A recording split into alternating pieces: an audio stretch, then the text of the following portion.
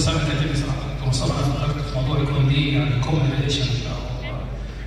ما بيننا وما بين ال physiotherapy فما لقيتش أحسن من frozen هو يعني 80 أو 70% physiotherapy و30% عندنا إحنا orthopedics فكلمة frozen بتدي حق بالاسترخاء شوية لكن شوية frozen shoulder is not the same ال frozen shoulder ليه other أسماء ثانية مترادفات اديزيف كابسولايتس بيري كابسولايتس بيري كابسولايتس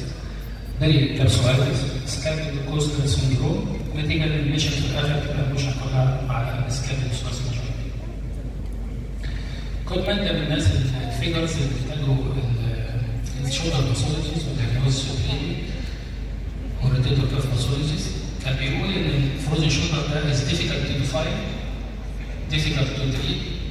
difficult to explain. لكن كان هو أول واحد حط uh, definition frozen shoulder and was disorder characterized by two parts pain and loss of range of motion shoulder joint يبقى عندنا two limbs pain and loss of range of motion ال shoulder ربنا ميزه ان هو has the widest range of motion وده في عوامل كثيره بتدخل فيها منها الكبسول بتاعت ال shoulder joint capsule ال shoulder joint is very lax allows a full range of motion in all directions لكن ان the result عندي في ال frozen shoulder بيحصل contraction لل capsule دي وبشكر برضه الدكتور محمد سرحان ان هو برضه وفر عليا جزء كبير من المحاضره وقال two points من دي عندي. الكبسول بتاع ال shoulder joint فيها two parts من دي ال rotator interval وال axillary pouch اللي هو بيتكون من ال inferior glenohumeral joint هما الاثنين دول بيحصل فيهم كونتراكشن بيحصل فيهم فيبريشن اكسلر باوتش فبيديني الليميتيشن اوف موشن اللي بيحصل. الباثولوجي في كلام كتير عن الباثولوجي المايكروسكوبيك باثولوجي والانترلوكينز والميديتورز لكن نيفازيال ديسكرايب باثولوجي ان في ليجن انفلاميشن في فايبروزيس وفي ريزلت كابسول كونتراكشن. الارثروسكوبيك بيبسي اتخذت ما ادتناش أكتر من ان في chronic inflammatory cells وفي proliferative fibrosis. طبعا الجلسه زي ما قلنا إن في inflammation وبيحصل فيه segment في اللي هو الكبسول بتاع ال shoulder joint. It is considered by some author as a common stage in human disorders. ال frozen shoulder ده مرحله من مراحل other disease زي ال rotator cuff tendinitis زي ال calcific tendinitis لكن ال majority of author بيعتبر إن ال idiopathic frozen shoulder ده independent disease لوحده. دايما بيبتدي ب synovitis الأول stage synovitis بعد كده يبتدي gradual يحصل فيه thickening من ال capsule fibrosis و scarred ويحصل stiffness. زي ما قال هي ال rotator interval ودي حتة مهمة دي الفاصل ما بين ال supra سمول سوبيرولي والسب ستابيلايز انتيرولي ودي بتبقى تو ليجمنتس مهمين اللي هم الكراب هم الليجمنت والسوبيرولي هم الليجمنت وبيعدي فيها انتراتيكولار لونج هيد اوف بايسبس الجزء ده مهم جدا في الرينج اوف موشن بتاعت الشولدر. لو أنا بعمل اكسترنال روتيشن وابدكشن وفور روتيشن مع بعض الروتيتور تيرمال ده بيحصل له كلوجر كده. الأجزاء الباوش من تحت بيحصل لها سلايدنج سوبيريوري والروتيتور تيرمال بيحصل له كلوجر عشان يديني الرينج موشن لكن في حالات الفروج شولدر بيحصل فيه سكار في الروتيتور تيرمال فبيحصل فيه لوس اول رينج اوف موشن ودي حتة مهمة هنركز عليها حتى في التدريب ده منظر الروتيتور تيرمال فروم سايد فروم سايد الجوينت تبقى حتة بنسميها سوفت سبوت حتة سوفت تحت عند السبسترايز كده وفوق اللونج بايسبس بيعمل لي ترانجل كده في الكبسول الانتيوري بنسميه الروتيتور الاتيولوجي موستلي از انون اتيولوجي لكن يعني في سيور اسمها بوست تروماتيك انفلاماتوري أو افتر بيريود انفلاماتيزيشن بيبقى كومن اسوشيتد اذر ديزيز زي الدايابيتس ده فيري كومن ساعات العيان بيشخصوا دايابيتك من الفروز الشولدر بيجي العيان عنده فروز الشولدر ده فيرست برزنتيشن نعمل له راوند بلاد شوجر أو نعمل له هيموجلوبين ام سي بيطلع دايابيتك في الآخر هو ما يعرفش أو مع السيرفايكال ديسك ديزيز مع السيرو ديسفانكشن مع الاوتوميون ديزيز مع التريتمنت السيرابي أو الكيموثيرابي على كانسر cerebral vascular stroke with cardiac function is a common disorder associated with uh, frozen shock. البريفالنس عندي على 230% 230% من population الايج كومن من 40 to 60 ده مهم يعني نص نص بيحصل في النون دومينانت هاند يبتدي في الناحيه الليفت لو عيان right hand من 20 30% من ال bilateral وكثير من فهم العيان لما يجي عيان البيت يبقى عنده frozen shoulder والله انت عندك الناحيه دي الشمال ما يعني ما تستغربش ان بعد سنه أو سنتين انت يبتدي affection للناحيه اليمين. لذلك إحنا بنبعت عيان physiotherapy أو بعلمه بعلمنا هتعمل exercise على الناحيتين. يعني الدكتور هيعمل exercise على الناحيه فيها الوصولي وهنعمل exercise على الناحيه الثانية to prevent ان ممكن يحصل نفس المشكلة. ال classification عندي في ال etiological classification بقسم ال primary ده اللي ماسك ملوش اي cause ده طبعا بعد exclusion of other causes وده يعني less common شوية لما يكون عندي اللي هو ال secondary post traumatic post operative و mostly مع diabetic patients تمام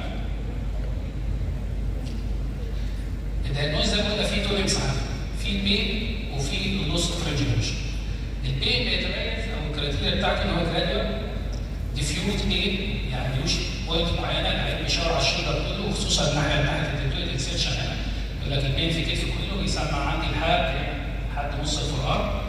بيبقى progressive pain بيزيد مع ال time ده achy pain يعني كتفي فيه بينقح عليا بينقح عليا زي ال abscess ال pain ده بيزيد ادمايل خصوصا لما ينام على جنب اللي فيه المشكلة أو يتقلب عليه يصحى من النوم يفزع من النوم كده. ال loss motion دايما بتبتدي في ال internal rotation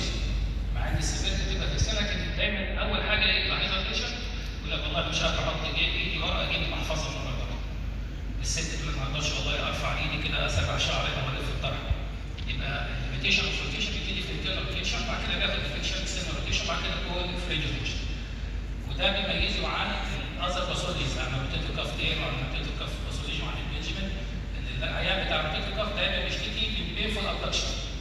painful abduction تمام؟ العيان بتاع ال frozen shoulder دايما ال affection بتاعه في ال rotation أكتر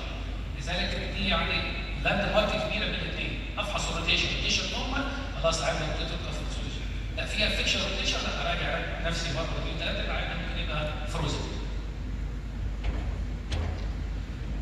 طبعا هو بالتالي severe pain العيان مش severe pain هو فعلا عنده severe pain ومش بيتصنع هذا. ال critical stage عندي فيه two stage مهمين بعتمد عليهم في Neviaser staging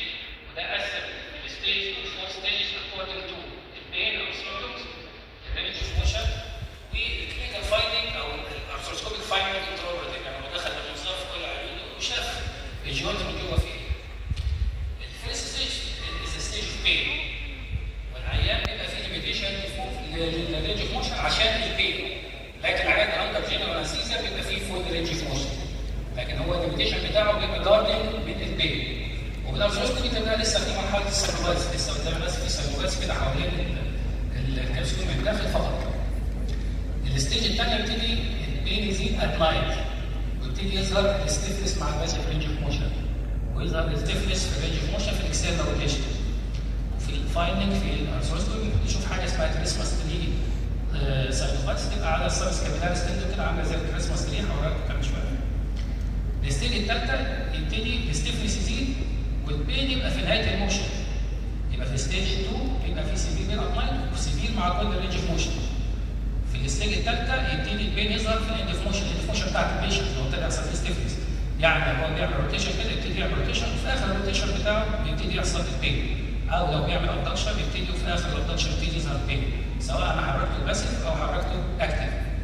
وفي عندي في المنظار هيظهر عندي في synovitis ابتدى يحصل لها improvement لكن بيحصل فيه كونجنتريشن دي باكسيري روتش ال stage الرابعه أو آخر stage بيبتدي خلاص في profound stiffness complete stiffness وال pain يبتدي improve في المرحلة دي بنسميها مرحلة بدايه ال improvement يبتدي ال pain ال range ماشي كمان يتحسن بس gradually و slowly في ال arthroscopic finding it's difficult to identify ما بنعرفش نخش جوه المنظار في المرحلة دي. ال joint خلاص بيبقى قافل على بعضه. المنظار ما بقدرش أدخل فيه. غير لو عملنا special maneuvers intraop دي ال Christmas tree sign السبس capillaries نازلة كده قطر على بيبان عليها synovitis نفس المنظر. ال staging الثاني وده ال common اللي إحنا بنشتغل عليه بنقسمه ال freezing stage وال frozen stage وال thawing stage أو مرحلة ال freezing stage دي بتتميز بسميها ستيج اوف بين سمولي بين ده ال classification الثاني وال stage الثاني بنشتغل عليه. ال shoulder is very painful at rest ومع ال movement يعني ال pain هنا at rest ومع ال movement وبعدين بيبتدي يحصل فيه gradually stiffness بيبتدي يظهر stiffness في هذه المرحلة gradually محل يمكن تاخد من ست اسابيع لحد تسع شهور. العيان في ال pain لمدة تسع شهور. المرحله الثانية اللي هي مرحلة ال frozen stage اللي هي بداية ال stiffness يبتدي ال pain يختفي مع ال rest ويظهر مع ال movement بس. يبقى ال pain هنا؟ هيبتدي يظهر مع ال movement كل ما يحرك دراعه يبتدي يحس ب pain لكن هو كده at rest ما بيحسش ب pain. في المرحلة دي يبتدي ال stiffness يزيد ويبقى painful ويبقى أي activity movement يبقى painful معاه. ودي بتاخد أربع شهور تسع شهور. غير التسع شهور الاولانيين. المرحله الأخيرة بنسميها مرحلة ال improvement أو مرحلة الذوبان أو مرحلة الزمن ودي بيبتدي يحصل فيها slow return to range motion يبتدي العيان يتحسن range motion gradually بتاخد حوالي خمس شهور لحد سنتين تقريبا يعني. لكن في معظم الأحيان never return to normal range motion يبقى دي ال natural history أو ده ال stage اللي كنا بنشتغل بيه ودايما بنفهم العيان. أنت مشكلتك دي mostly self مع ال time هتتحل. هيقول لك مع ال time طبعا ليها سنه أو ليها تسع شهور وعملت علاج طبيعي ولا 50 جلسة وما اتحسنش لا أنت بتتحسن التحسن بتاعك وفائدتي أنا أو بتاعك ال role بتاع السي بتاع العلاج الطبيعي إحنا بنجدد ال time عليه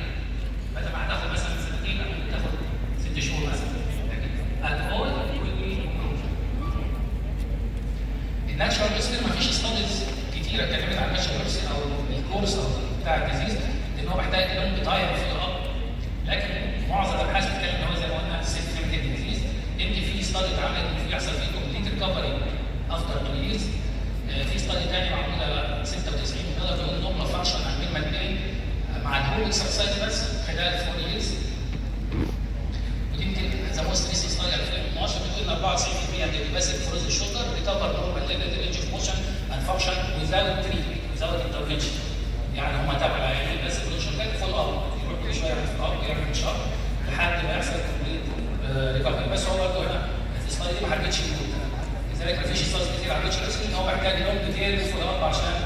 تحدد ال natural بتاعه ال imaging actually it's clinical diagnosis اللي هو ده clinical diagnosis ال shoulder لازم ما تقدرش فيه pain في condition of rotation ده خلاص ده frozen shoulder أو داخل frozen shoulder لكن إحنا بنعمل الجهد بتاعنا كلينكس بنشوف في اذر باسولوجي معاه كنا زمان بنعمل صرافي بنصدر جوه الشولدر ونعمل برضه إكس راي عشان أشوف الروتيشن بتاع الاكسيل باوس تكون سكان ساعات بنعمل في الاكتيف وأنا عايز أفرق بينهم حاجة ثانية لكن الجولد اللي عندي أو الجولد أو الستاندرد بستخدمه اللي هو الام ار اي دي صورة للفوتوغرافيه بتلاقي فيه روتيشن أو السطر مش مكمله في الاكسيل باوس تحت الام ار اي بيبص على منظورين في فيو الأولاني البيك سوري بتاع البيك بلاقي في سيكنت في الروتيتال كيرف الروتيتال كيرف بيشوف الاكسيال فيو ما بين الكلوروفويد بروسيس ما بين الهيد وفي الكورونا فيوز بشوف الأجزاء اللي باوتش تحت بلاقيها بتريتد وسكت ولازقه على الانفيريور جلينويد لكن بشوف عندهم أجزاء كده جي شيب normal اجزاء الوصف J shape كده وباين ال bounds بتاعتها من ال head وال glenoid وفي point مهم ناخد بالنا منها ان 62% من العيانين بتوع ال adhesive capsulitis أو frozen shoulder بيبقى معاهم partial thickness cuff tear أو supraspinatus لكن ال patient ده frozen shoulder ما هواش ال patient بتاع rotator cuff tear وده لنا حالات كتيره في الجامعة أو عندي في, في العياده بالدايجنوز ده العياده انت راح عملت نسخه كتير ما تحسنش بيبعد لا لا العيان في بوتيتو كافتير لا في 62% مش عندهم بارشال سيكنس لكن هو اشهر فروز اي ويل تريد فروز الشوطه اي ويل تريد كافتير في بيشنت عنده فروز الشوطه أنا كده بزود المشكلة بتاعتي العيان بتاع الرجال بنعمل له امبولايزيشن لمده ست اسابيع فانا بزود مشكله الستيفنس أنا احل مشكله الستيفنس الأول وبعدين أشوف مشكله ال tear في عيانين كتير عندهم partial thickness tear و asymptomatic ما بيشتكيش أو ممكن يشتكي من pain بس لكن عنده range motion كويس لكن مشكله العيان في الجزء ده ال stiffness ال treatment عندي محتاج patient محتاج صبر. من ناحية المريض زي ما اتحركت من ناحيه الطبيب العيان ده هيوريك كتير وهيروح عليك كتير وهيعمل physiotherapy كتير وهيروح لك هيروح لك وهيروح لغيرك لكن مش حاسس عشان يتحسن أو التحسن بتاعه بطيء لكن لازم اول point افهمه ال disease عندك ده natural history بتاع كذا هو بيمشي واحد اثنين ثلاثة هياخد time في ال treatment هنمشي مرحله مرحله تمام ثانيا ال treatment بتاعتي لازم تبقى motivated على ال stage أنا فيها العيان الثاني في ال stage هل في ال first stage ولا في ال second stage ولا في مرحله الغرفه الاخيره ال role بتاعي أنا ك surgeon ماليش اي role غير في أو ك surgeon ماليش اي role غير to improve ال range of motion أنا ماليش علاقه بال pain يعني يعني حتى لما يجي frozen shoulder تحاول محتاج operative فاهم والله. انت لا انت عندك مشكلة واحد اثنين ثلاثة عندك frozen shoulder أنا ال operation اللي هعملها هتحسن ال range motion لكن ممكن مين ما يتحسنش ممكن يتحسن شوية لكن mostly ما يتحسنش تمام في ال painful stage قلنا عليها ال stage of freezing الايه بتاعي أو بتاع زميلي في الاشراكي pain relief فقط pain relief وممكن اعمل شوية stretching exercise لو ال patient ده في أيام بيبقى فيها pain free أو في ال time فيه pain free بحاول اعمل له stretching exercise لكن مش هعمل فيه اشراك مش هعمل manipulation في مرحله ال pain ده هيزود ال pain مع ال patient اللي عنده وهيخليه يدخل في stiff زياده وهيعدي بمرحلة ال fibrosis أو مرحلة ال freezing فمرحله ال freezing بقى خلاص هشتغل على حاجتين ال pain relief وابتدي اشتغل physiotherapy manipulation عشان امنع احسن اولا ال fibrosis اللي حصل وامنع ال further fibrosis ال surgery في المرحله دي controversial يعني ممكن تدخل وممكن ما تدخلش لكن يعني عندنا إحنا المدرسة بتاعتنا في سوهاج إحنا بندخل في ال last stage ده بيبقى ال pain minimal أو ما فيش pain المرحله الاخيره اللي هي قلنا عليها thawing stage دي mainly physiotherapy وزي ما اتعرضت وال surgery عندي هنا to improve range of motion لو لو إيه؟ لو العيان ده range of motion ما بيتحسنش معاه مع ال physiotherapy ومع ال exercise يعني بشوف عيان النهارده بشوف بعد شهر بشوف بعد شهرين بعد ثلاثة. لو في يعني في improvement بتتحسن مع ال time خلاص حتى لو slow بصبر عليه.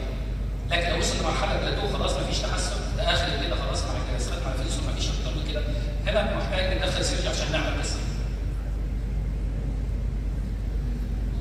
ال pain control طبعا في كذا method عندنا في non steroidal ممكن ادي oral steroids حتى لو ال pain كبير ال intra-articular steroid injection وإحنا recently هنا من 2013 بنشتغل suprascapular nerve sonographic guided بنعمل local steroid injection و local anesthetic injection حوالين ال suprascapular nerve بالسونار والنتائج بتاعتها يعني الحمد لله كانت نتائج كويسه وعملنا عليها رساله بالتعاون مع قسم الروماتيزم في الجامعة بنعملها لما في pain وفي stiffness لكن لما يبقى المشكلة عندي stiffness بس بنحقن ال rotator interval نفسه برضه sonographic guided زي ما قلنا ال rotator interval دي الحته اللي بين ال head وما بين ال coracoid هنا بتبان في السونار فبحقن فيها برضه ستيرويد بحسب فيها local anesthetic وكميه من ال saline حوالي 10 سي سي صغير عشان اعمل distension لل rotator cuff من ال range motion بيتحسن بعدها ممكن أستخدمها ك local anesthetic. هقول لحضرتك بعد شوية ممكن أستخدمها ك local anesthetic وأعمل maneuver أو manipulation immediately آه بعد ال injection. طبعا ال session الاقتصاد مش هتكلم عليها حضراتكم موجودين يعني. لكن في exercise أنا بحبه خالص هو ده بتاع ال internal rotation اللي عندنا في العيادة هو ال exercise ده عشان stretching ال internal rotation ال surgical treatment محتاج بس 10% العديد زي ما قلت لحضراتكم في maneuvers كتير كنا بنعملها زمان كنا بنعمل حاجة اسمها hydrodilatation بندي العيان anesthesia ونعمل distension لل capsule بتاعت ال joint ب saline وننفخ على قد ما نقدر under pressure عشان نحاول اعمل stretching لل capsule الحاجة الثانية اللي كنا بنعملها manipulation under anesthesia بس ال manipulation under anesthesia دي يعني بالنسبة لنا بتبقى risky شوية. لأن زي ما اتحركوا سنهم من 40 ل 60 سنة بيبقى فيه osteoporosis وحتى ما عندوش osteoporosis الفترة اللي فيها stiffness بيحصل فيه زي disuse atrophy في ال bone فمجرد ما حاولت تعمل فيبريشن في ده بتحصل فراكشن. شفناها وحصلت معانا اولادنا بيحصل فراكشن الهيومرس أو السيرجن الهيومرس دي كومن لذلك أنا حضرتك كنا بعمل لوكال اسيتك بالفيروتيتر بتاعي حاليا عشان أعمل الموديليشن ده من غير ما ما يحصل فراكشن أنا أحس بكده ابتدي أقلل الموديليشن ده وريسنتلي بنعمل ابسورسكوبيك ريليز الاوبر ريليز. ال release بتاع الكبسول كان في كلام كتير على ال release أعمل كل الكبسول ولا أعمل جزء الكبسول. إحنا recently بنعمل بس ال release دي rotator interval بس اتكلمنا عليه إن ده هو ال main part اللي بيحصل فيه ال contracture آخر حاجة. فأنا بدخل بالمنظار. وبعمل release كل ال structures اللي في rotator interval ال capsule و coracohumeral ligament و superior glenohumeral ligament لحد ما أوصل لل deltoid muscle وأشوف ال fibers بتاعت ال conjoint tendon قدامي بس في حتة مهمه عايز اقولها لحضرتك في اخر الفيديو خلاص عايز أقول لكم ال rotator ال rotator ده بيعمل إيه مع الاكسيلر روتيشن مع ال abduction